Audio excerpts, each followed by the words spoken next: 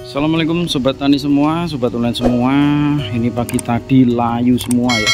Tiga tandon atau keseluruhan ya 2032 tanaman atau lubang tanam semuanya layu kayak gini. Belum ketemu masalahnya apa yang jelas kemarin tandonnya sempat kerendam air. Jadi bisa jadi kecampuran dari unsur-unsur kimia yang ada di air hujan plus warga sekitar tidak tahu buang apa sehingga bermasalah ke tanaman ini dikuras semoga bisa kembali lagi ya.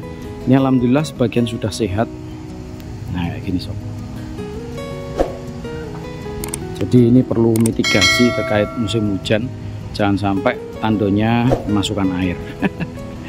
Oke demikian bu dari saya. Salam sehat selalu dan assalamualaikum warahmatullahi wabarakatuh